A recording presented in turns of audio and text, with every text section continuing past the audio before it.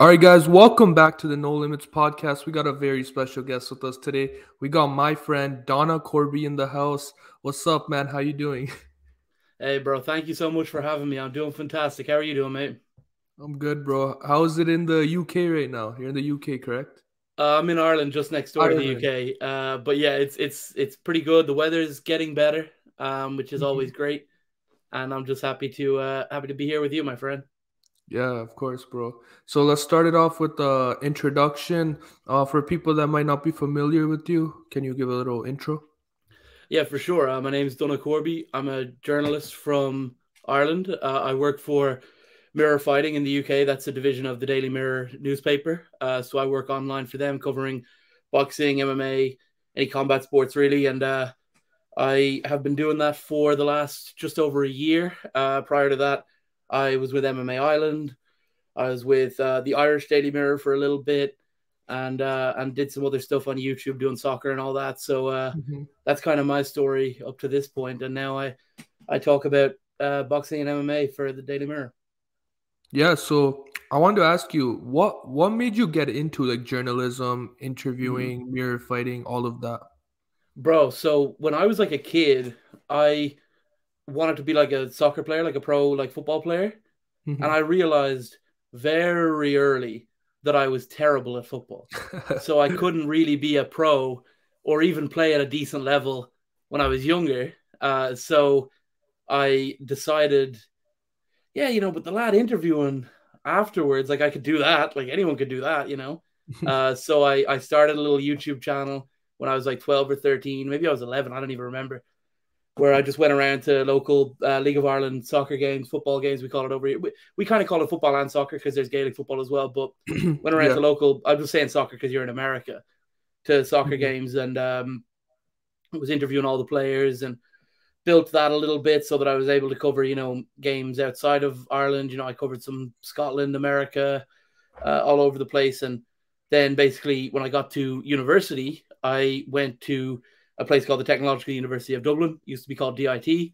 Uh, and I studied journalism. I majored in journalism, minored in Irish, uh, Irish language. So uh, in my course, which was very small, very tight knit course, I met a guy called JP Kierans, uh, who was involved with the Irish Daily Mirror at the time, and uh, we were just hanging out. Um, we were we were friendly, and he got some uh, he got some opportunities for internships, and a couple of my couple of lads in my course um, were given those up. Like we were told, like, yeah, send in your CVs, help out. And so I ended up turning that internship into three years with the Irish Daily Mirror, uh, writing about all sports, and then went to America and uh, came back because it just didn't really work out over there because of COVID and everything and some visa yeah. issues. Uh, and then uh, was kind of doing other things for a little bit, working in marketing, all of that, and uh, then ended up eventually uh, coming out to mirror fighting when the opportunity arose uh, last May. So I just celebrated my uh, year anniversary there on the 10th of May this year. So started wow. then and uh, and a lot's happened in that last year. So that's a very long answer to your first question. I'm sorry. it's a great answer, great answer. And uh, me personally, I got familiar with you um, as you covered mm-hmm. more boxing, MMA, as that's the yeah. realm I'm yes, very interested into. And uh, recently, you've been covering a lot of YouTube boxing.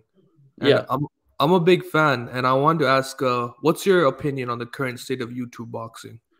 Well, I think it's such a fantastic um, medium. You know, I think it's so exciting. Uh, you're talking about like fights that are competitive, fights that are sanctioned by governing bodies, and all of that. Like we had a discussion at one point last year around the time of the uh, the Social Gloves event, mm-hmm. where we were like, should we be covering this stuff seriously because it's not, you know, quote unquote real boxing. Yeah. But I was basically arguing that it's it's real boxing in all in every sense of the word in in that um you're talking about uh guys who are very very very low level fighters who went and did the medicals, went and did uh you know the sanctioning stuff, got themselves ready and went and competed. So if you were covering uh, a real, let's say a, a, real fight, like let's say you're covering uh, Anthony Joshua, and the first fight of the night, there's some local guy, you know, a young guy, 18 or 19, who's 1 0 or 2 0, and he's fighting a journeyman. And you notice at that point, whoa, people are really interested in this 1 0 guy. hmm. you would cover that guy more because there's like a spike in traffic or whatever. So it's the same for these YouTubers. Like you're talking about fight cards where the first fight of the night, or or yeah, the first fight of the night. Let's look at the the creator clash recently, right? You've got Matt Watson who has around a million subs yeah. versus Dad who has around half a million, and it's like like that would be a, a main event follower wise. That would be a main event in in most boxing worlds, but it's the first fight of the night in this thing, and so you know I I just uh, I just kind of I've always had an interest in it because I was always a fan of the Paul brothers beforehand, mm-hmm. um, like before they were in boxing, and I was writing about other sports and all that. And so when they got into it, I was like, oh, that's perfect. So yeah, it didn't get a lot of respect early on, but you know, yeah. I think it's uh, I think it's super interesting. And and with regards to the state of YouTube boxing, I think uh, it's flourishing. Right? It seems yeah. as if there's more events than ever. Uh, mm-hmm. KSI is coming back. Jake's coming back. I'm hearing about other stuff happening as well. Obviously, we have the um, the TikToker event in London on July 16th that that uh, looks like it's going to happen. Yeah, the- I'm hearing about stuff later in the year. There was a plan for something July 23rd in Dublin, but that's been moved to the end of the year because I think July 23rd is going to be UFC London and Anthony Joshua versus Alexander Usyk. Yeah. So they wouldn't like no one would have showed up. Um, and no, and I don't think anyone would have wanted to fight that night either. Like I don't think they were going to get big name fighters to want to compete that night. So uh, they they've moved that basically to the end of the year, I think. But it will hopefully happen. And I heard about some big names being on that, and the KSI card is going to be amazing because I think from what I've heard, it's a return back to like KSI versus Logan One, KSI versus Joe, where it's really? all YouTubers, it's all influencers. That's what I heard. I don't know. Like I only know personally in terms of like insider stuff. I only know of one fight that's definitely on the undercard, but that fight is first off one that nobody will guess in a million years, and secondly, it's two influencers. It's um oh two like two interesting influencers too, like people who you'd be like, whoa, I wouldn't have expected to see either of those. There's one you would have expected to see at some point, but you wouldn't have expected to see one of them uh, in the UK necessarily. And then there's another guy who's you know a, a much bigger like uh, influencer as well who you'd have gone, whoa, I didn't even know this guy boxed. So uh, that's um, that's going to be interesting. So I think it's never been more vibrant than it is now. Everyone wants to compete. Uh, we just had a, a hugely successful uh, couple of events, the Creator Clash. Showstar, by the way, was a success by every metric, like financially. They sold yeah. a lot of tickets. They sold a lot of pay per views. I think they sold more pay per views than the Creator Clash, maybe in, in or around the same. But it was um, also ten dollars, right? It goes yeah, so it was cheap. cheap. So they didn't make as much money, and it, it yeah. wasn't for charity and all of that. But I mm-hmm. guess like it was, they had set a target and they hit that target, and they comfortably hit that target, and everybody got paid. Everything was good, which obviously in the past has been an issue. So yeah, it's been a good start to the year, and it's going to get a lot bigger towards uh like later on as, as we move towards the Jake card, which I have no idea what's happening there. I think Jake is probably going to keep it professional if I were to guess, I would Probably, say if yeah. Alex doesn't fight KSI, he might get himself a fight on there. But otherwise, he'll keep it to professionals. and then obviously the basketball player and the WWE wrestler um, are going to fight. Uh, I think that's that's a, I, I know as much as anyone else does about that. But then the, which yeah, the WWE wrestler? I don't know. That's just what the reports are saying was that they want really? to get a heavyweight WWE wrestler. That's literally what they said. They didn't say a name, but that's what they were oh. talking about was getting it, it, would be great if it was one of the um one of the guys from. It'd be great if it was someone who's like recent and relevant and stuff. But yeah.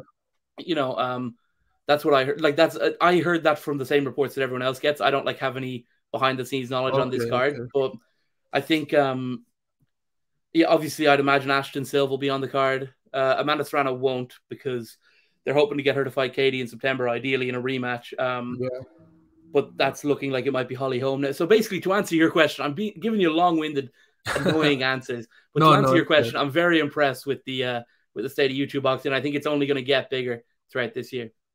Yeah, that's what we like to hear. And uh, speaking on the man Jake Paul, you landed mm-hmm. an interview with him, which is crazy. And congrats on that. And uh, thank you. I, I know you said the story on the Twitter Spaces, but can you repeat it mm-hmm. here? How did that interview come into and come into play?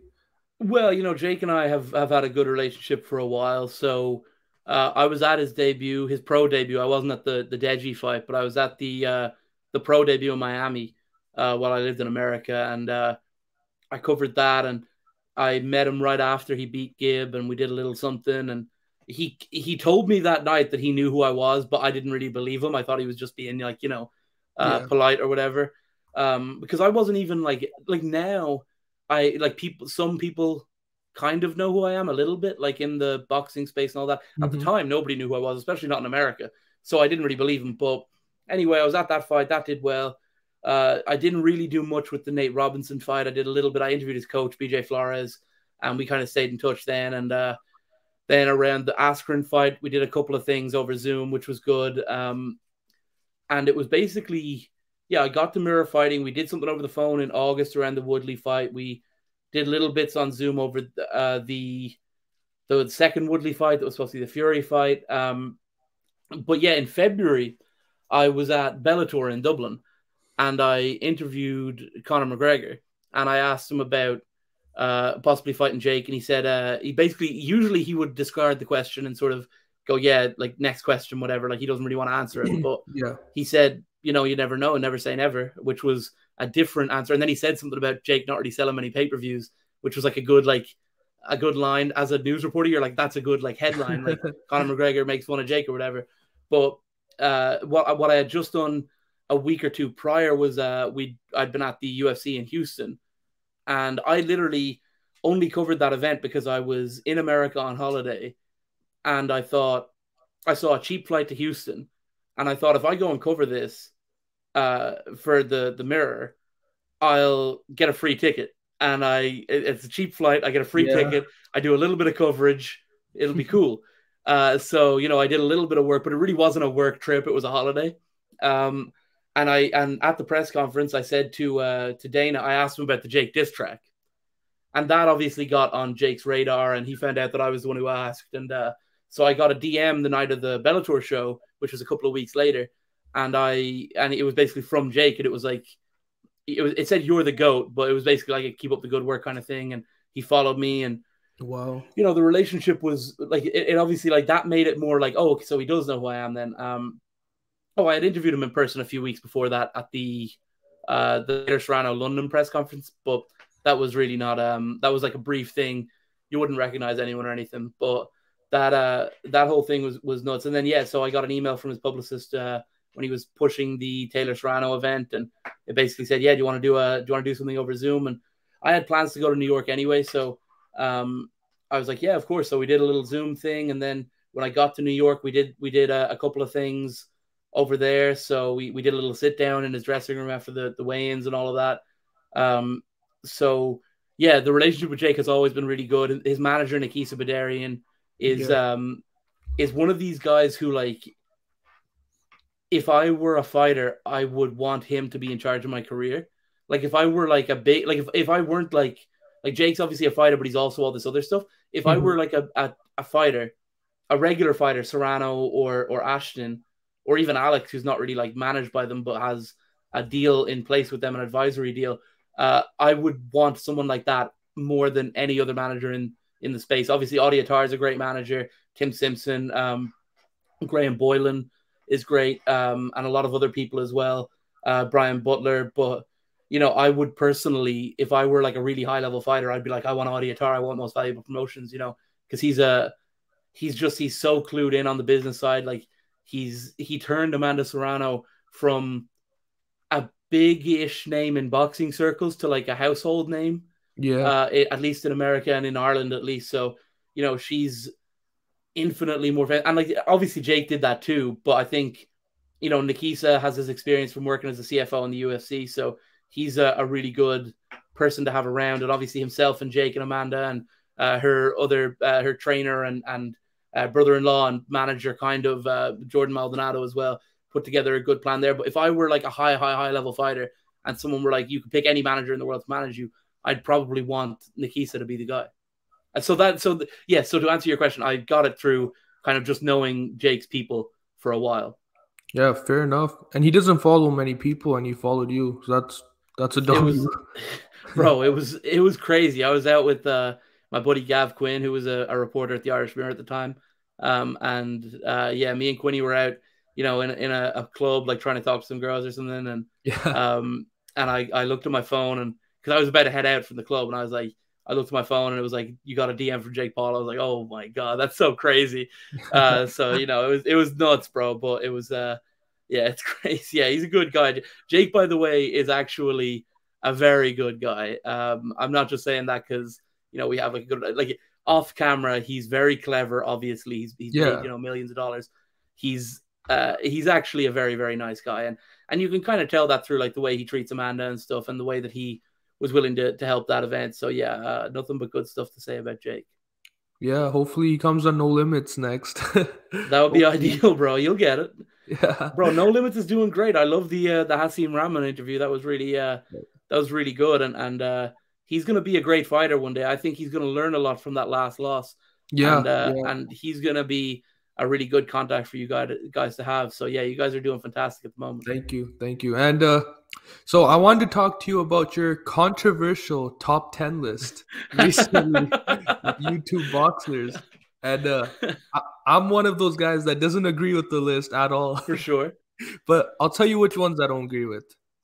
I don't agree with. I think Alex Wassabi. You put like number. Yeah, he's a little high up. I understand yeah, that being controversial.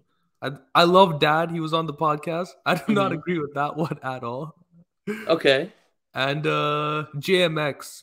I think JMX yeah. I don't agree with because of his inactivity. Yeah, he hasn't fought in a while, and he didn't fight like the greatest people either. I think yeah. like, and the thing is, like I said, uh, I said like if you were allowed to count MMA, then Brookner would probably be number one because he has the most fights and all of that. But I said I couldn't count MMA for Brookner, but then I did count MMA for JMX. So it's a little bit like it's a little all over the place. I understand that, but yeah, JMX I understand being controversial. And then okay, so for Dad, um, it's just mm-hmm. we have to see the level of opponent, right? He fought yeah, Matt sure. Watson, and uh, great, yeah. He, he wasn't really the most technical while getting that knockout. He seemed like mm. he was just swinging his arms around. No, I, I get that. Uh, the only thing is that first off, I thought he was the most impressive on the Creator Clash in terms of like, I you know there were I guess there were more impressive performances. Like, I thought Haley lost and she probably looked like the best. Yeah. Um, but you know, obviously Dr. Mike did well. The issue with Dr. Mike was that he was in a lose lose situation where like um there was a situ- there was a UFC fight very similar. Uh, there was a guy called Dean Barry, an Irish fighter, who was in the UFC a few weeks ago, and mm-hmm he had a fight with a guy called Mike Jackson, and the way that it was all set up, it was like even if Dean beat Mike, he had to do it spectacularly for anyone to res- like to respect the win. Really? And it's it was very similar with Dr. Mike. I felt was that if like Dr. Mike, with all the things that were in his favor, he's naturally probably a cruiserweight. Maybe even if he didn't cut weight and if he didn't really train that hard, he could even you know, tip the scales of bridgerweight or heavyweight. But yeah, yeah, yeah. He's not a natural like he is a natural cruiserweight. Idub's naturally a super welterweight, maybe. Yep, yep. Could probably even fight as low as maybe super lightweight, welterweight. No, maybe not super lightweight, but he could fight at welterweight, I'd imagine. And he get got himself up to cruiserweight for his debut. Had been training for less than a year mm-hmm. because mm-hmm. he said that in, in our interview afterwards, where when he did the documentary with Sam Hyde in March 2021, he had never trained properly. So that means that it was like around a year. If you if you say that the second he came home from that he started training, which it, I don't think happened, then it would be like a year and a month. Whereas Dr. Mike had been around boxing gyms for his whole life, or a lot of his life, a lot of his adult life, and uh, obviously he doesn't have a great deal of time to be training, like you know, for fights. But his fundamentals would have been a lot better, and so it just it felt like with the nature of that matchup, for Dr. Mike to like really earn a like a, to, to really emerge as like a big big star of YouTube boxing, he would have had to do something a little bit more spectacular than he did against Ian. And I thought, but also Ian did really really well. Like Ian did, a lot better than we expected, and I think well. Ian would be a problem at welterweight or super welterweight. You know, I think, I think if, if Alex, because Alex isn't naturally 175 light heavyweight either. I think I think Ian and Alex would be a good fight. Yep, um, that's what I've been seeing too. But you know, because because Alex would naturally be a bit lower in weight, Ian wouldn't have to come up as much, and yeah, I think um that's why like because I wanted to put someone from each one of the promotions on. So you okay. had so you had Jake, who's like a professional, and and it's arguable that Jake shouldn't be on the list. Like it's arguable, arguable that he's not yeah. really on the list at all. But you know, I had KSI from all of his stuff. Mm-hmm. I had um from Social Gloves, we had Gib and Austin McBroom. Yeah. From Social Knockout, we had Slim From. Creator Clash, we had Dad, and from uh, Showstar, we had Wassabi. And Wassabi. it was tough to put someone from Showstar on because like nobody really performed that well that night. Like yeah. I thought Temper, like Temper was all right, but once again, it's like he's fought once. He went the distance. He didn't even like he won a, a, a UD, I think, but not convincingly enough that the judges didn't give it to him on the night. Like I think he, like I think Temper also to I think to get on a list like that with just one fight, you need to do something spectacular. Okay. And I think 22 seconds of a knockout, anyone who's been around boxing knows, particularly with exhibition rules, with like big gloves on, first fight of the night on a new promotion, all of that stuff, it's very difficult to get a referee to step in within 20 seconds. And it was actually 21 seconds by the time the fight was over. So I, I just thought, like, you land a knockout like that over, by the way, someone 20 years younger than you. Like, he's 41, which means he's way past his athletic peak, even if he had, like, even if he had the more experience. Whereas Matt's, like, Matt's around 21, 22, something like that, I think. Um, or maybe he might be 25 or whatever. But that's like the point at which it would be the easiest for you to get in good boxing shape. Whereas it would have been a lot harder for dad to get to the point of being as good as he was. Um, so I just thought that all of that taken into consideration, he earned his spot on on the rankings there. And and you know, also outside of the rings, not that this matters too much, but he really has capitalized a lot on it and he's very um he's super engaging with people and you know, I think like all all of this stuff just played a factor. So I defend the dad selection. JMX is a tough one. Alex is a really tough one. Yeah. And to be honest, so I think high. I said this on the stream when I was doing it. I think I forgot the temper had fought. Yeah. I think like I think I was doing it all off memory. I didn't like put in like a huge like I didn't put in like as much research as I could have done. But you know, I think maybe Alex should have been lower and maybe he shouldn't have been in there at all, and maybe temper should have been in there. Yeah. Um like maybe Alex should have been around lower. The I think one that's also proven controversial that you didn't even mention yet is Logan at number ten.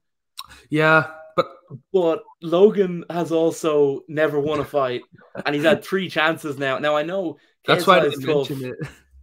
But he like, and the, the fact of the matter is, he got like, if there were judges, he didn't win a round against Mayweather. Like he obviously made it the eight rounds, but he's anyone at Mayweather's level who's Logan's weight, a cruiserweight or a light heavyweight, would have had him out of there in a couple of rounds. Oh, yeah, yeah. Um, I agree with that. So I think like he used his weight well, and he did very well because he's not that good. Like you don't want to say he's not that good. He's incredibly good for someone who's been training for a few years. He's not that good by Floyd Mayweather standards. Oh, like yeah. Floyd won't have fought anyone at Logan's level, uh, pound for pound, since probably his early career right after the Olympics. Um, like he would have fought like the guy he fought at the Olympics who he beat but who he didn't get the decision against would have probably been better than Logan skill for skill. So um I just feel like if he has like he did go eight rounds with Mayweather though, so you can't not put him on the list. He's the biggest. He's one of the biggest names. Not that that matters too much, but you know you can't you can't do a YouTuber boxing list and not put Logan on. Yeah. But he's at the bottom of it because he hasn't won any fights yet, and he also doesn't seem to care that deeply about the fact that he hasn't won any fights yet because he doesn't like rush in. Like Jake did three fights last year. Logan's done three fights in his whole life. So, you know, I think, or not last year. Jake did three fights in 13 months. But yeah, you know, I think uh, if Logan wanted to be a really good boxer, he definitely could. But I don't think he cares that deeply about it. He cares about other stuff. Um, so that would be why he's so low on the list, is because he hasn't won yet. And you can't put him above any. Like you couldn't even put him above Alex, really, because Alex won. Like Alex beat Deji. But but we can make an argument. Like I'm just trying trying to play devil's mm-hmm. advocate that Logan I went understand. six rounds and like a, a like a arguably bad decision with the number two guy on your yes. list. That's true. That is true, yeah. and also one of the best boxers of all time. Like that's that's yeah, why exactly. he's on there at all. Like, and, and I do think he beat KSI both times. Oh, really? You do? I think he beat KSI in both fights. Like I think, but I do like I just think that a different referee probably would have given him a little warning, maybe taken one point for yeah, the yeah. the punch. Like I, I know that the rule says two points, but you know, I could definitely see a referee going, all right, you can't be doing that. But it's their pro debut. They're they're sub novice level boxers. And they're in the I main would say, yeah, and like I would say, if I were a referee, I would probably go, hey, you can't be doing that. I would have given KSI some time to recover. Two points for the first infraction is crazy is tough in a six rounder. That's really, really, really do- like that's a very difficult call to make. And you wonder how different the fight would be if KSI is down two points in that round. Does he come out and he go even more aggressive towards the end and try to stop Logan? And does Logan try to stop him because he got the knockdown? You know, you wonder. But I think I. Uh, but either way, I think like I wouldn't have taken the two points if I were the referee. I would have had it play out the exact same. Would have given him the time to recover all of that. Um, and I would have been sterner with KSI about like taking the time to recover. I would have been like, you can't just jump back in and like because yeah, yeah. JJ just jumped right in after the points got taken. I would, if I were the referee, I would have been like, take the few minutes. Mm-hmm. Um, but I thought Logan, I thought Logan won the first fight. Um, it wasn't even that close. I thought, I thought he won four rounds probably, and also JJ punched him way after the bell. Oh yeah, I remember that. started. That could be a point deduction, which would change everything. Um, but that referee was lenient. Yeah. That referee understood it's white collar boxing, it's sub novice. I'm not taking a point off someone for something like that. Come on. And the same with Ian in his fight with Dr. Mike. End of the fight, he's lost the fight anyway. The referee was, I guess the referee could have been like, hey, take a point off this fella because he threw way after the bell. But um, but yeah, I think either way, the first fight I thought Logan won, and then the second fight, he probably lost or drew based on the scorecards with the two point deduction. But I thought you had 12 rounds of them two together, and it, I thought it was clear who the better boxer was, and it wasn't JJ. Um, but that being said, yeah, he probably should be higher on my list then. I don't know. Maybe I'll rethink it. I'll do another one after uh, after Jake and KSI fight. Yeah, yeah. August. You have to. And I think uh, I think there are people on the KSI card who may end up on the list if they if they impress as I expect them to. But we'll have to see because I don't even know if that fight that I know is confirmed yet. But yeah, it's uh it's super exciting and uh yeah, I'm sorry to everyone who was offended by the list. I'd love for other people to make their own and and get in touch. Like I'd love for people to like I saw some people doing their own little rankings and I thought, yeah, you know, I would have maybe put Alex down here. I, I, wouldn't have put him on the list. But like that's the worst one, isn't it? Alex is the worst. Is Alex the worst, is really the most egregious offender. Yeah, because he probably should. Yeah, and at number five, yeah, I don't know what I was thinking. Yeah, number five. That was high. a bad one. I guess maybe I was thinking, maybe in the back of my head, I might have been thinking if he's going to be fighting JJ, we yeah. want to at least give him a little a little push in the right direction. No, I'm joking, of course, but no, he uh no, Alex did, but also Alex did very well against Edgy, and he did very he well did. against Fuzi, and he did very well in the qualifier tournament. Um, uh, against Fuzi, did he?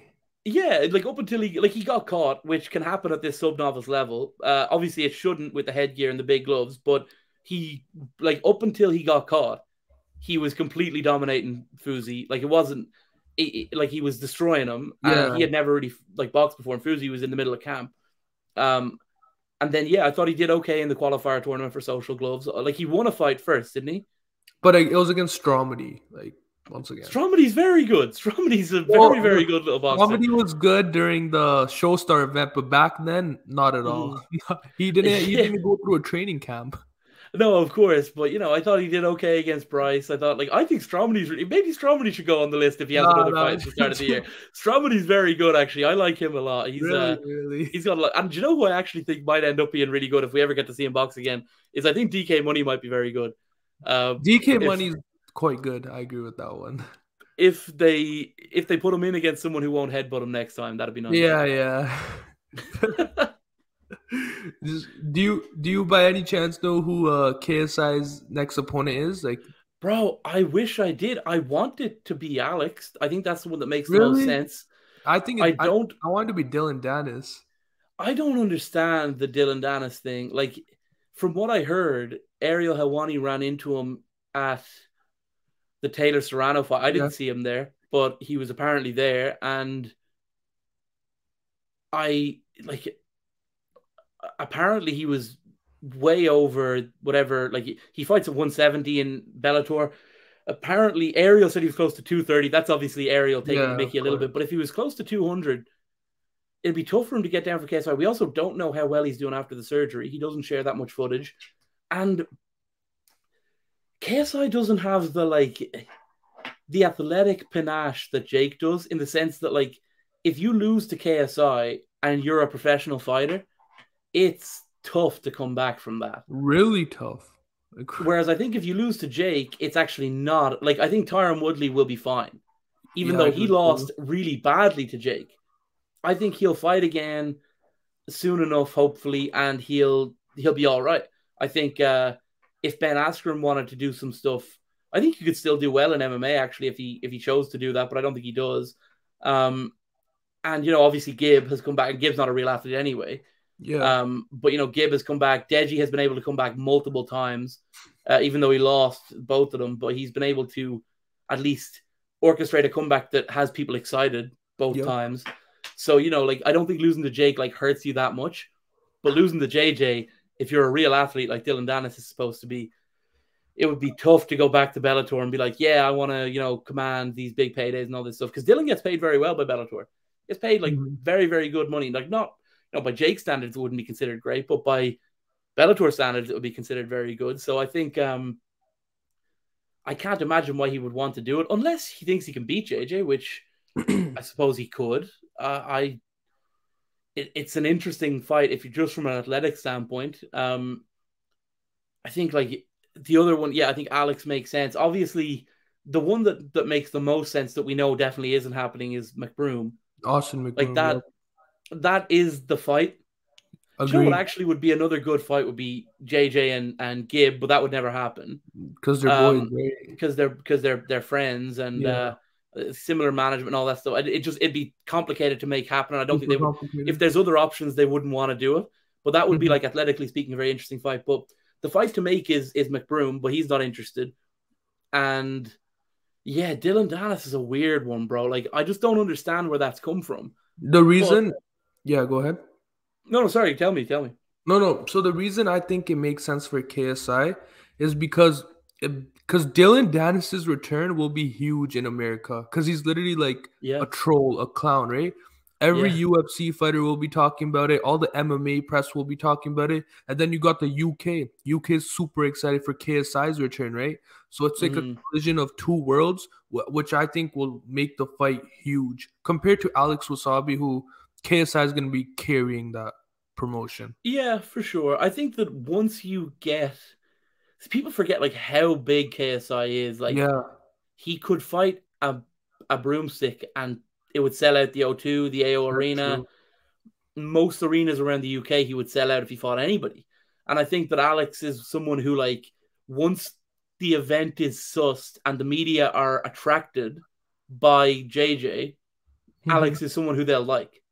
Alex is someone who will get a little bit of a push from people. So, like, you're right in the sense that, like, he's not as big a name as Dillon, but Dillon's also not a huge name either. Like you don't walk down the street and run into people who know who Dillon Danis is all the time necessarily. Like he's he's big in the MMA circles, and I do agree with you that he would attract a lot of like MMA interest. So yeah. you would have that kind of MMA versus boxing thing, but yeah, I guess I, yeah, I suppose you maybe you've convinced me that Dillon would be the right one. Yeah, I still personally I wanted to be Alex because I also like JJ when he fought Joe when he was a lot lighter.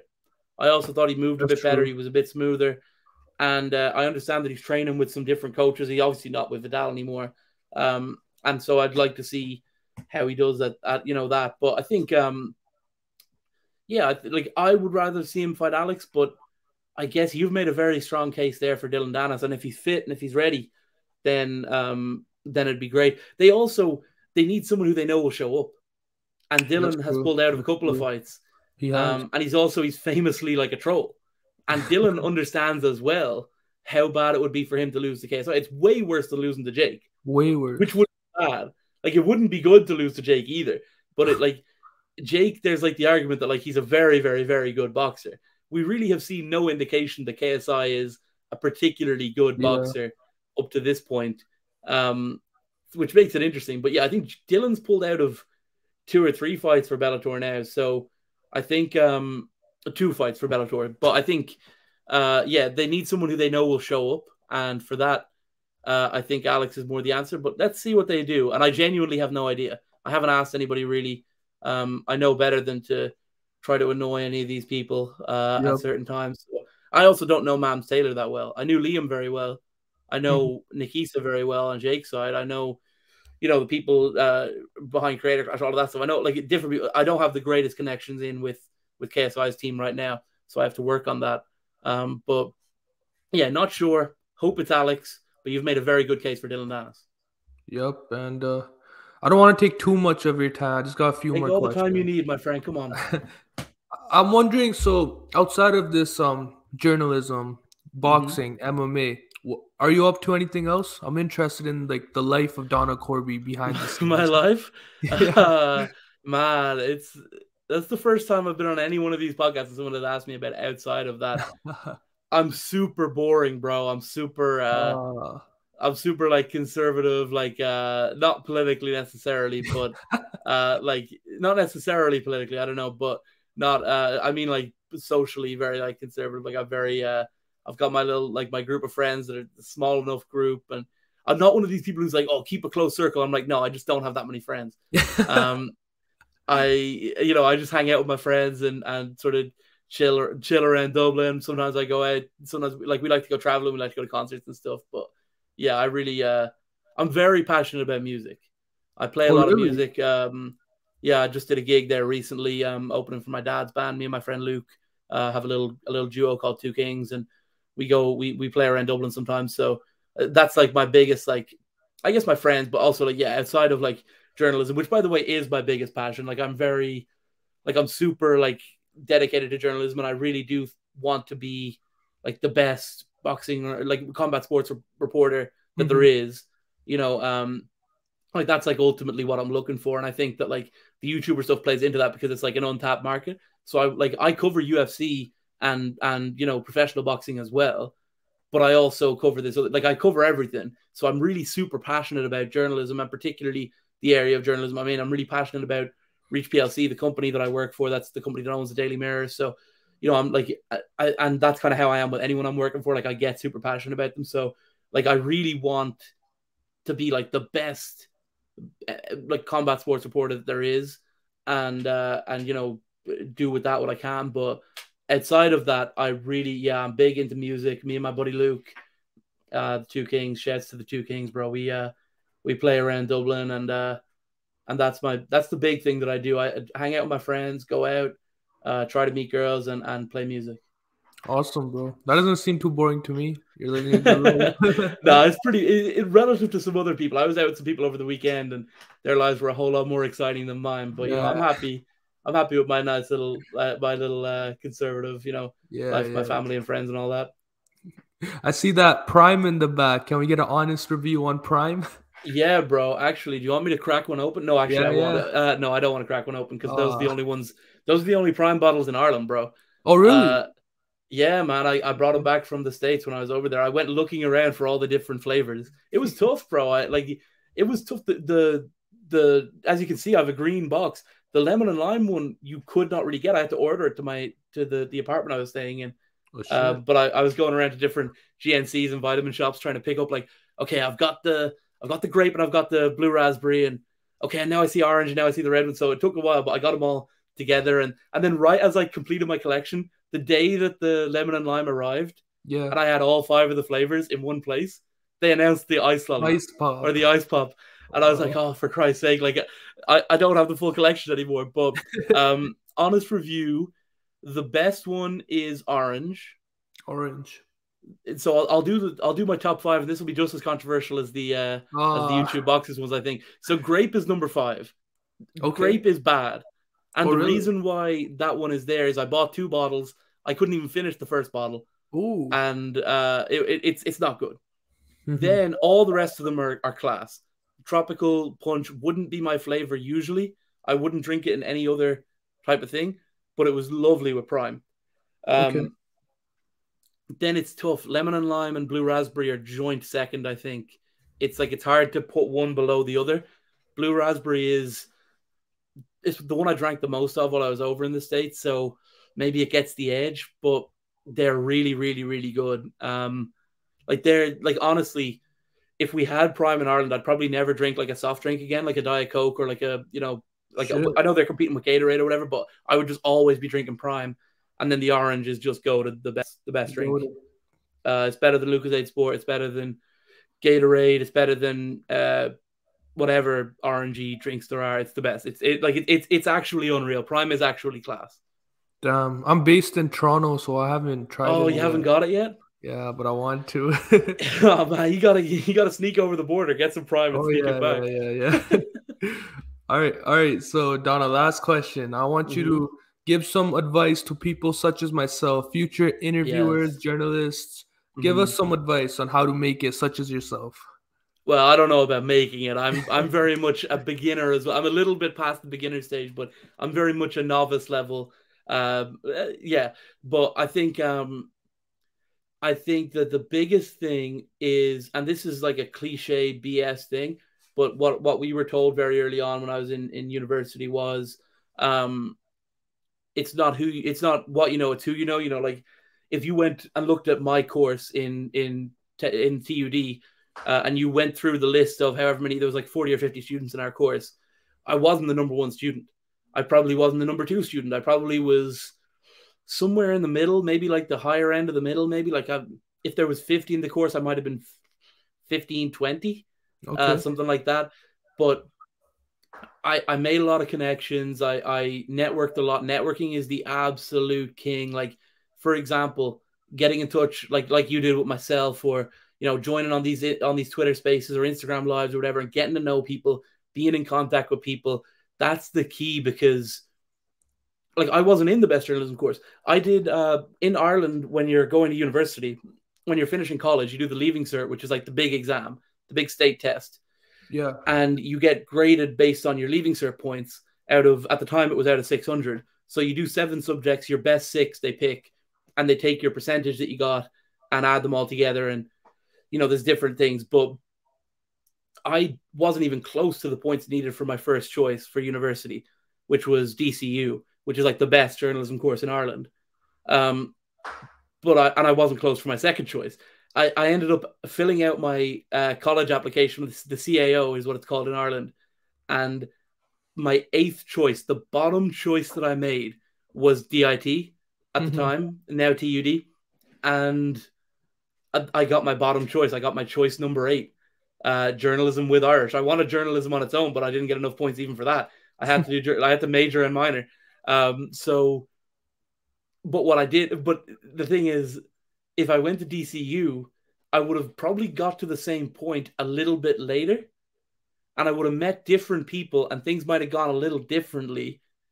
But in DIT, I met JP, and it's like you can't quantify how you're going to run into someone who has this kind of connection. Yeah, you know, like I can't tell you definitely do the DIT journalism course or definitely do the DCU journalism course or you know, in Toronto, I don't know what the best bet is in Toronto or whatever, but I think um, the key is talking to people constantly, you know, remaining in contact, and also like like what you're doing, Prab, is it's so important. Just make content, just do things, just go out. Like if you think you want to, like the first thing we were told when we sat down in reporting the news 101 with uh, our our lecturer was Ian Kilroy a former um, Irish Times journalist and a, and a really great lecturer and a really really great journalist in his day. Ian Kilroy was his name, and he uh, he he goes, "Who here wants to be a journalist?" And obviously, everyone's hand goes up. Maybe one or two people were only doing it because they also did their eighth choice, I guess. Um, but pretty much every hand in the room goes up, and he says, "Okay, you're all journalists." Like, and that's like a very powerful thing. Is like you're if you want to be a journalist, you are. You just have to go and report on things and you have to go and make things happen. And it's that simple. So if you want to be a boxing journalist, go and report on boxing. Just, you know, uh, find like your local gyms or your local shows and go cover them. You want to write about football?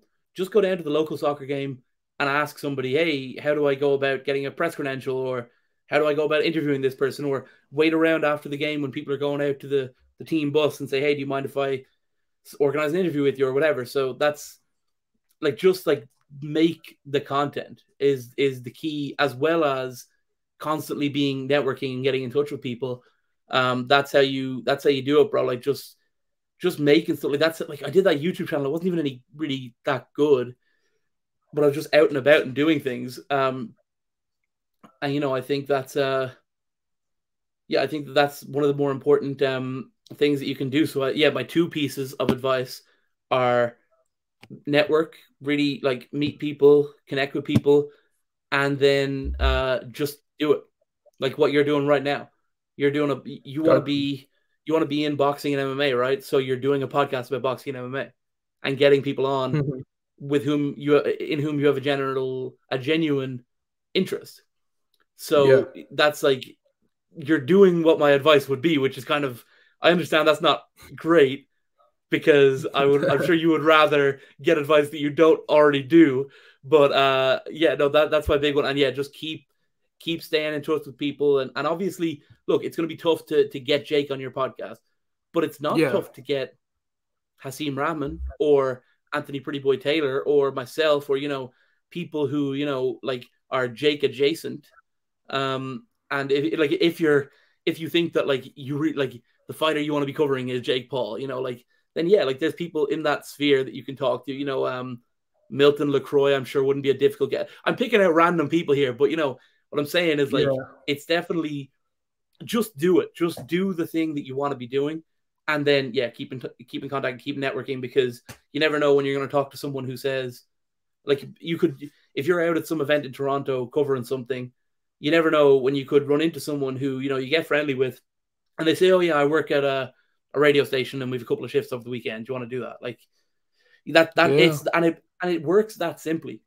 Like someone needs, and because journalism is so breakneck of a pace, like it's so quick, it it happens where someone's like, "Yeah, we need someone to cover three shifts this weekend. Can you do it?" And that three shifts can turn into, like in my case, it was like, "Hey, do you want to come in for a, a week and do an internship?"